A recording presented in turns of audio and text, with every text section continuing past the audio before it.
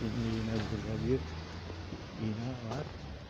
Bir resmi binaya daha bir kuruma benziyor. Bir okul olabilir. Onu değil. Onun olmadığı belli. Bir katlı otopark da şurada var bak. Çok ilginç. Hala buralar katlı otopark olduğunu bilmiyordum.